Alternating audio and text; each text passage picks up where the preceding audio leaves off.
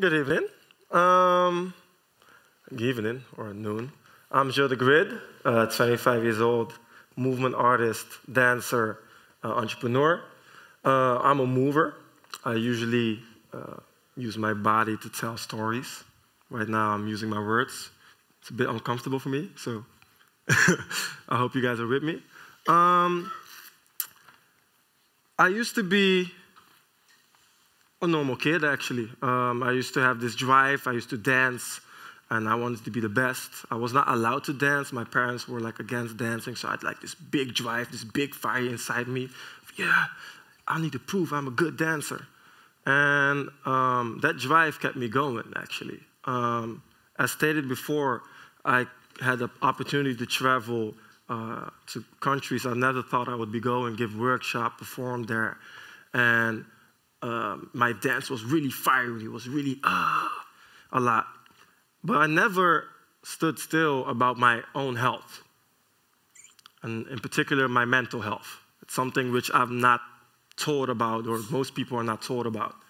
Um, as a dancer, you assume, or as a normal human being, you assume that um, once in your lifetime, your body starts to dysfunction, or you have a little pain in your shoulder, and something goes wrong. I mean, you're a human being, you live 80 years old, something in your body will go wrong one day or another day. However, the stigma around mental health is actually you're supposed to be on top of your game throughout your whole life. If I would tell you guys I would I had a uh, uh, injury in my shoulder, I would break my arm, you guys would feel sorry for me. You guys would be like, oh, your arm is broken. Oh, this and this and this. If I would tell you guys I would be depressed or have a burnout, this is a general reaction I get. Oh, good for you. so, um, after I became a world champion experimental dance and I proved myself, I, I ended up in this void. I had like a lot of pressure. I was on the top of, of my dance career. I had to perform the whole time. And I didn't have the time to really be with myself, to reflect on myself. And I never assumed that something like a psychotic attack could hap happen to me. Well, it did. Uh, five years ago, I ended up in a psychotic breakdown, which lasted for a week. And it changed my whole world. My reality changed, uh, the view on the world changed, the view on I had, what, which I had on myself changed. And the biggest obstacle was not me overcoming that experience, it was me trying to come back into the normal reality. I had so much experiences and so much traumas which I could not translate in words. I could not express my emotions, my fears with other people around me because it's not a general thing to do. We live in a society where, where we are supposed to have this mask on and be on top of the game the whole time, and we don't speak about our emotions, our insecurities, our fears at all. So it was a big step for me to approach my friends and be like, yo, guys, I've had a psychotic attack and I don't know what to do. Me being stubborn, sitting at a therapy, and explaining what I experienced, they offered me to go in therapy, to take pills, and to treat it out. Me being stubborn, I literally said, no, no. If it's a problem in my head, I can fix it myself. And I did. And the one thing he told me was, was that dance was the only thing that kept me going, that kept me sane. And I thought that was an interesting mechanism. So I was like, okay, art is self expression. And I could see how my art changed after my psychotic breakdown. Myself changed. So the expression of myself changed as well. I use my movement, I use my body in that. And I use my complete being. So I could literally be aware of the changes would happen in my body by just moving through it. My psychotic breakdown gave me a lot of fear. And I was always a fearful kid. I got beatings as a little kid from my parents, so I always was at home a bit here.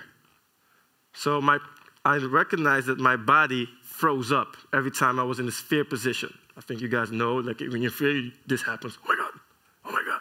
You freeze up. Your body goes hard. So, being aware of that, I could easily translate it every time I'm in a fearful position. I could use that tension and be like, okay, Gil, I know you're afraid right now, but change your body posture.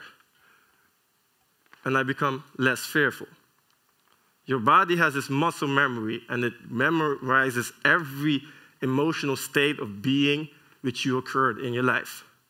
So the times which you are really happy, your body changes. You're like, yay, I'm happy. If you're sad, your body postures move like this. So becoming aware of that and using that to my advantage, I started healing myself and started becoming more aware of my own problems. I could literally heal myself. I could heal myself from my past experience and from my psychotic attacks. And love and pain are two universal forces. And everyone understands love, everyone understands pain. But via those two energies, those two forces, we can understand each other more. We can be more empathic. My pain changed my being and made me realize that I don't want anyone in my power or in my environment to experience the same thing I've been through. So, art has a big, has a huge value in one's life. And I can tell you guys so much about it, how I changed, uh, what it did for me, but I can also just show it.